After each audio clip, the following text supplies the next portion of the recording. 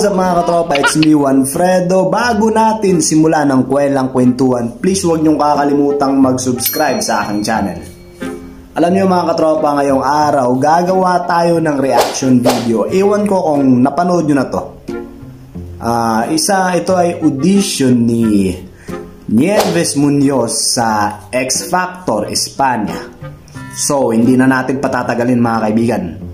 Tara't panoorin natin ang malaanghel na boses ni Nieves Munoz. Let's go! Ay, girls, I can feel nothing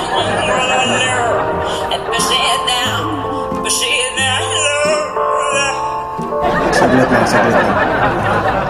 Parang mali ata ako sa sinabi kong malaanghel. Parang malaim burnal. Tuloy pa natin. Baka, eh, baka naman bumawi ito sa medyo, ano, nagpapa-warm up lang muna, di ba? Malay natin. Good time, good vibes Like an hour,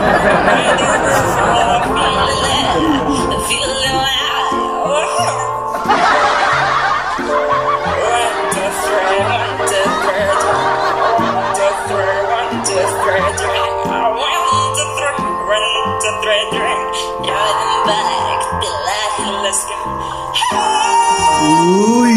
Yun oh! Yun!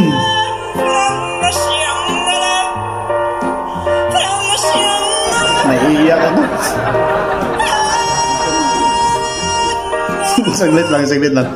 Ito sigurong nakaupo, yung mga nakaupo na yun, pamilya siguro ni Nieves Munoz yun. Siyempre, moral support, di? Pero, nakita mo yung itsura ng nanay tsaka kapatid niya siguro yun, parang dismayado.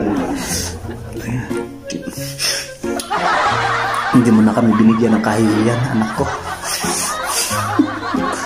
tuloy pa natin, tuloy pa natin.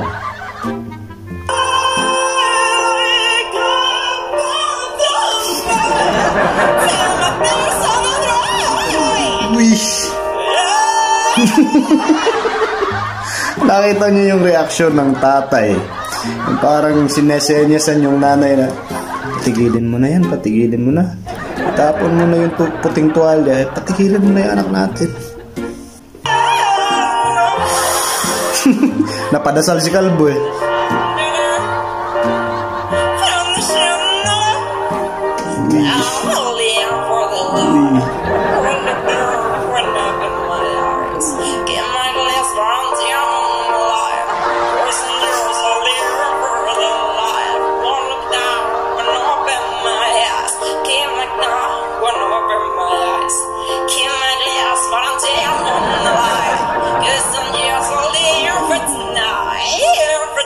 Uy.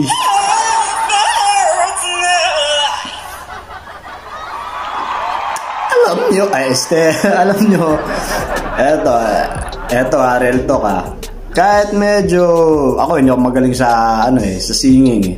Wala akong talent sa kanta. Pero alam nyo, believe ako sa fighting spirit nito ha. Siguro kahit alam niya na medyo dehado siya pagdating sa kantahan. Pero talagang sinubukan niya yung, yung swerte niya sa audition. Alam niyo yun? Sa mga nakapanood nitong video na to, alam nyo, huwag kayong magpo-focus dun sa kumbaga eh, sabit-sabit na, blo- na boses niya. Mag-focus kayo dun sa, alam nyo yun, kung paano mo susubukan makuha yung mga pinapangarap mo. Alam nyo yun, kahit pagtawanan ka ng ibang tao, ayos lang yan. Subukan mo lang ng subukan, malay mo, tsatsamba ka rin. Hanggang sa susunod na video mga kaibigan, ako po si Juan Fredo. Ingat tayong lahat.